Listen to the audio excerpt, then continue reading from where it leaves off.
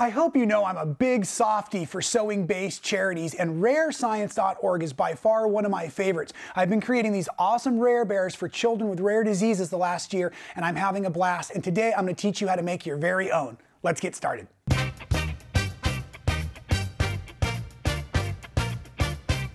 We want you, that's right, to join our Rare Bear Army. So follow our description in the link below. Sorry.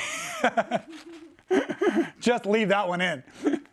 We want you to join our Rare Bear Army. That's right. Go ahead and just bounce into the description below. We've got a link for you to take you to rarescience.org where you sign up to join the Rare Bear Army. And from there, they'll guide you through the steps to get the pattern from Simplicity.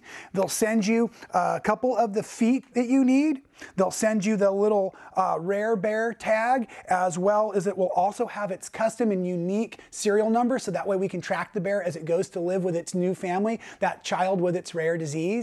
And I also wanted to pick some really fun kid related fabric so I used Windham's The Big Dig. It's this great construction fabric and I got a fat quarter bundle and so I used some of the fabrics to create this bear and I'll have other fabrics left over to create other bears so I can keep sending them in and speaking of making those bears, let's get you started on how we're gonna do this in the tutorial, right? So when you sign up at rarescience.org, they're going to send you a PDF set of instructions that cover a couple of different steps than the original pattern for getting that tag in place. So do follow those instructions while you're working, but you'll still be using, as you can see, the pattern pieces from the actual Simplicity pattern itself.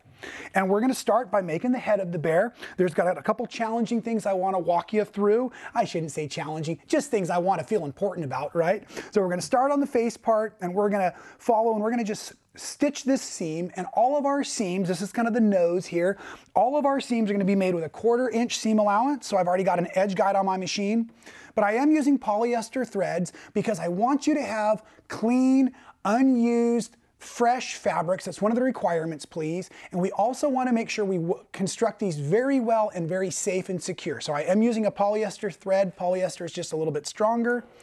So I'm going to back stitch on all my seams with that quarter inch. And I'm just using that edge guide to help me make it around that curve nice. And then one of the things we do a lot of times in soft toys is we want to clip all of our curves, also in garment, right? So clipping the curves means I'm going to go ahead and just come in here about every quarter inch and I'm going to use my scissors to cut almost all the way back to the threads. And I've already pressed one of these pieces out. I've got a lot of this stuff ready made so I can get you through the, all the steps quickly because we're gonna make the entire bear in today's tutorial. So you can see that I had clipped those edges there nice so that when I pressed it back right sides out, I got a nice curve going there. The next part we're going to need to do actually though is we're going to take this one piece that is the center of the nose or the center of the bear's face. Every piece in the pattern has two except for just this one. And we're going to go ahead and set it in right sides together starting at this top and all the way around the corner. So I'm going to set it in here like this, right sides together, and head on over to my sewing machine. I want to make sure I have that right. So I come around the nose, yep. And we're just gonna go ahead and stitch this part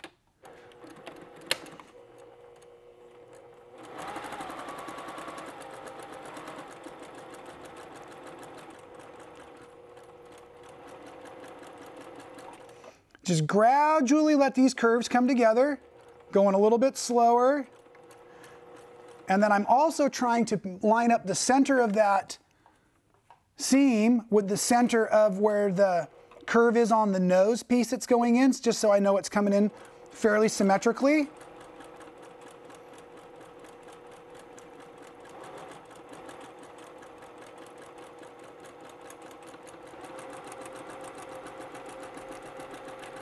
And then backstitch there to finish. And we've already started to create that whole front piece where we're gonna go ahead and set in the ears next. Now, like I said, I've gotten a bunch of work done for us.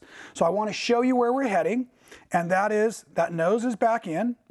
And when we flip it over here like this, so you can see the right sides, let me turn it, here's our ears. Now, the entire bear will be stuffed, and actually, Rare Science or the Rare Bear Army prefers you send your bears in unstuffed, and they'll stuff them and seal them up for you. But the ears we have to stuff ourselves. So you have four of these half circle shapes. You're going to go ahead and just sew all the way around the circle part, leaving this open here. You'll snip those edges. I won't take the time to now, but you'll snip them yourselves. Turn it right sides out like yay, and then just take yourself a little pinch of your polyfill, fluff it up a bit, and you're gonna stick that in to your ear, and you're gonna go back over to the sewing machine, and you're gonna sew just the lightest little seam, real narrow little seam here. You can see it right here, and that's just to hold the stuffing in while we do the rest of the head construction and the ear construction. Those ears, both of them are pinned about an inch away from the center line down that um, nose piece there. There's that nose piece, okay? And then the next thing we need to do, now that we have these pinned in place, is create the back of the head. And the back of the head here is created, and this is a piece that's kind of symmetrical looking. So you can see I've left it pinned in place. It says that this is the center seam. This is the seam we'll stitch, okay? So you can see that I've actually already prepared that so that I would know this goes over to the sewing machine this way. But like I said, this is the one I've already prepared for us. And it's been stitched along here like yay. And then all we're gonna go ahead and do is turn it right sides back out as we need. And we're going to prepare to find, this is the curve here is where the neck opening is. So this top round part is the top of the head. So I'm gonna come back down here. I'm trying to hold it still, but there's a curved opening there. So I'm just gonna match those up like this, and I'm gonna go up and around the outside of the head. And I'm gonna go nice and slow as I get near those ears. I have a few pins in place. I'm gonna back stitch every time I can.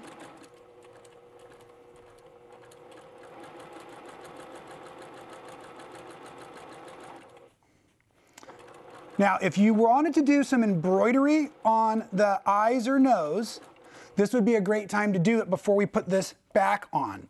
I simply did without any character on the eyes or nose because I think it's fun that way. We do not want you sewing buttons on for safety reasons. I've just captured that one ear as I came around, preparing to capture the second one. And I'm making sure that that thread that's holding the stuffing in the ears will not be showing up as I finish that seam there.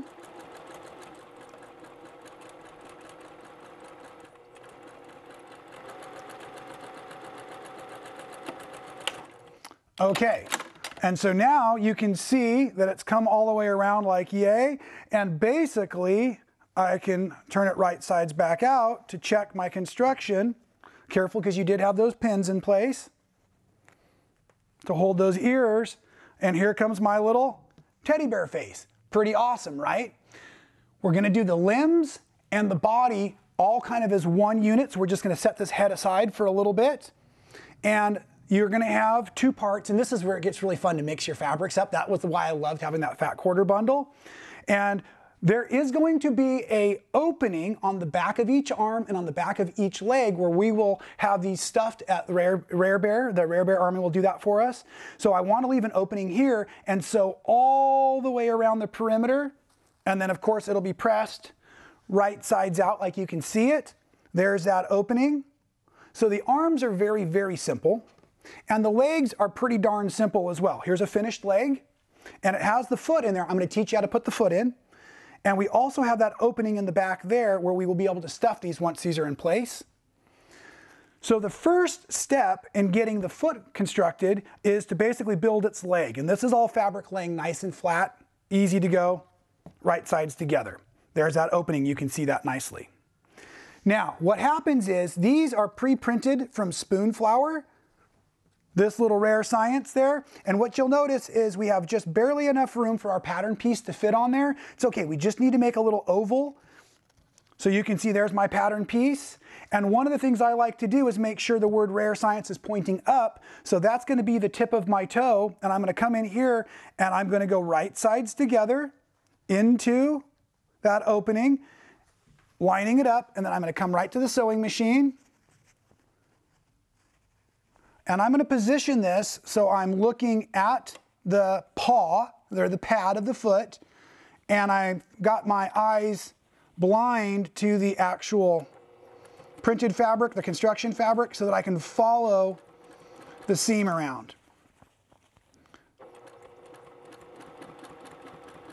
And the pattern pieces are cut perfectly to size, so as long as we don't tug or push too much on any one of these two layers of fabric, it should come nicely right back around to the center for us. But if you have to cheat a little bit, you can. It's the benefit of these cute, cuddly little stuffed projects, is people don't know if we have a little seam that's got a little pucker or something in it. Okay, and you can see how nicely this is coming back around. It really is simple, but I just felt like this might be a new set of construction for somebody at home, so I wanted to take a minute and show this. Okay, I'm coming around, and here I am nice, right back where I started from. So let's lock those stitches in really tight. And again, at this point, I want you to go ahead and take the time to snip those curves, but I want to get this bear constructed, so I'm just going to turn it right sides back out because we're going to need all of our arms and our legs right sides out from this point on. Okay, so I have two legs constructed, two arms constructed, and one of the things I like to do is I like to take this and pinch it so that the feet are sitting in here correct. The first time I made a bear, I put the feet in wrong. So I'm going to go ahead and take this here and I'm going to come down to my iron and I'm going to just press this to create a seam so that when I set it in to the back piece of the body, I've got it ready to go. So let's do that on this leg too. Okay, nice and easy. So we've got legs. Turn this arm right side out for us. You can use either opening, really, at this point.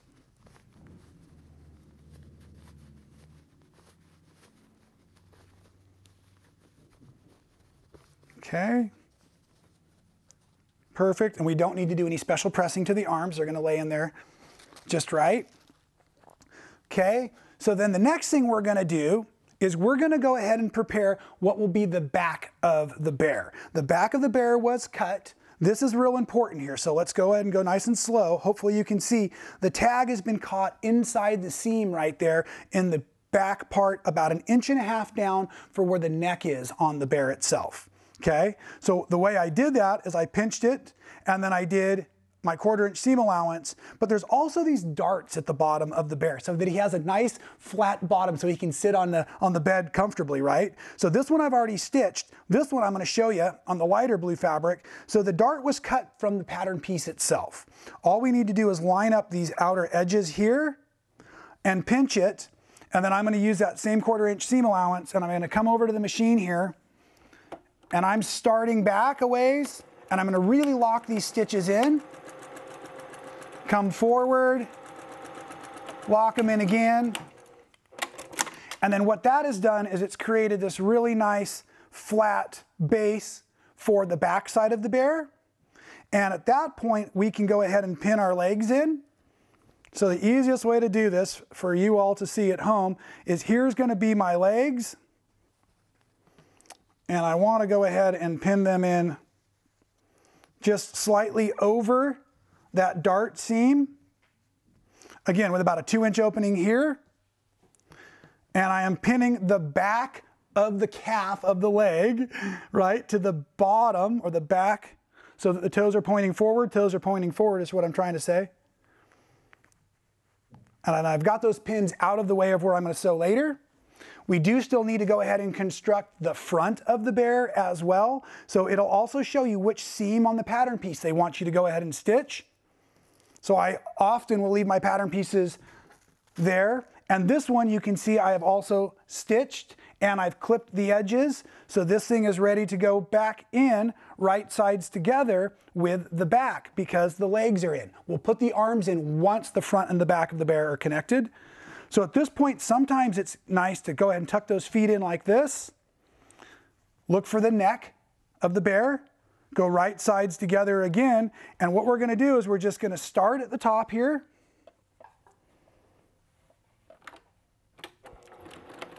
Lock that seam in.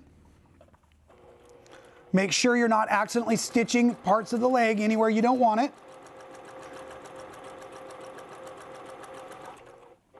We're going to come, come here.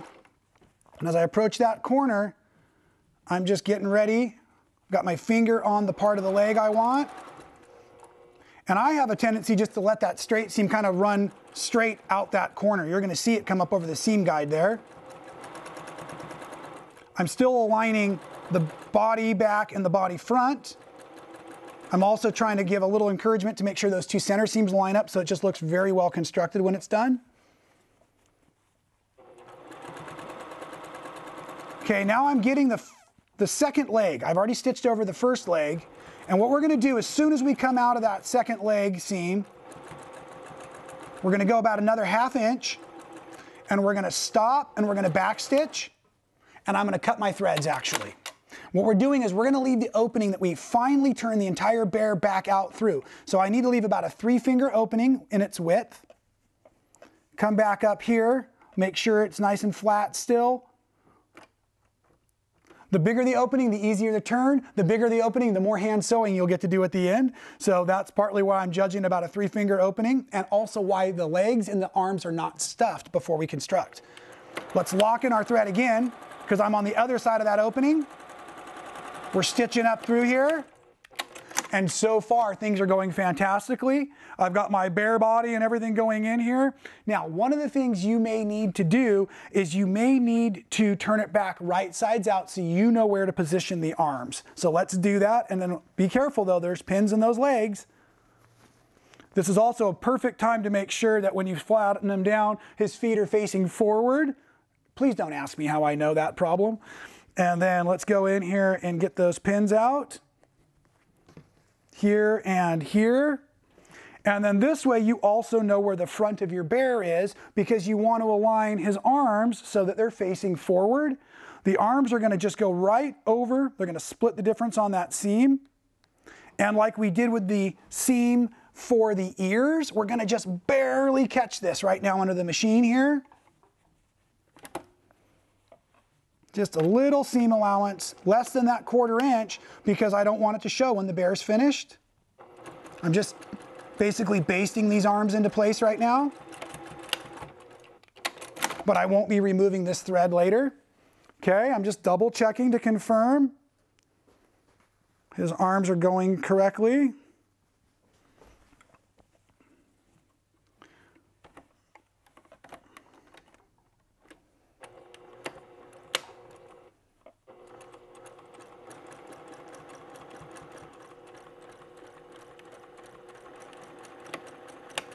Okay? Just like that. So our entire bear body is done and our head is technically done as well. What we're gonna need to go ahead and do is keep our head right sides out and our body we're gonna turn back to wrong sides out. Okay. Now, you'll notice where those darts are. That's the back of the bear. So I'm gonna spin it so I'm facing the front of the bear. I'm going to find the nose and I'm going to drop the head in so that the nose is facing forward. And then you're going to have technically one, two, three, four seams around the body and four seams around the bear to line up to make sure it stays accurate. So I didn't even take the time to pin any of this and we're going to sew all the way around because we have that opening we left down there near the legs. This is also a nice thing about having different fabrics. So I know that those two polka dot fabrics on the seam are the front. And now we're going to make that quarter inch seam allowance here.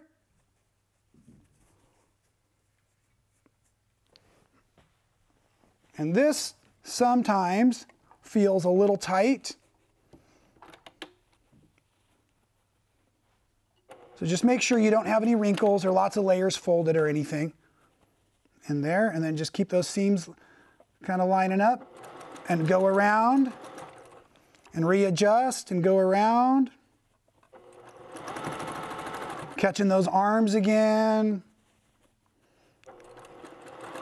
I can see I just lined up that seam really nicely. Here comes another arm.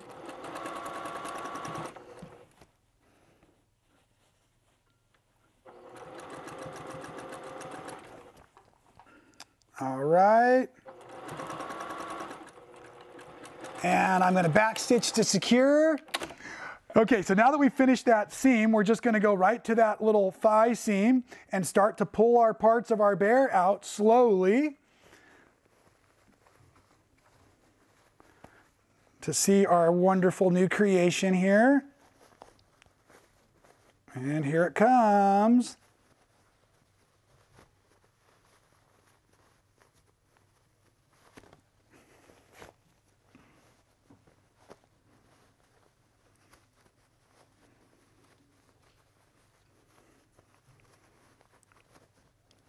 And voila, I got a leg wrapped around or something on there. There we go. nice. So there is our bear all finished with that fantastic rare bear tag already in its back like that for us. Remember, you gotta make sure you do that so they've got a way to track it. You've got your wonderful rare bear feet there for you. So again, here is that fantastic finished bear. And just a couple of quick reminders. We would really prefer it if you just send in the bear skin so you don't need to stuff yours. We'll have it just like it is finished sewing. And please do not put any buttons on for the eyes. Those could come off and become a choking hazard and we really, really need to be careful about that. But you most certainly use some hand embroidery floss and you can embroider on some eyes or nose to even further customize your personal bear. So sign up today at rarescience.org, join our Rare Bear Army and put your your love for sewing and crafting together and help make a bear to support some child out there that really needs you right now. Thanks again. We'll see you next time at Man Sewing. Thanks for being a Man Sewing fan. It's great to have you out there encouraging me to create fantastic new content. If you've missed any of the videos, we've got links for you here and here. And while you're checking those out, make sure you're subscribed. We don't want you to miss any of the action.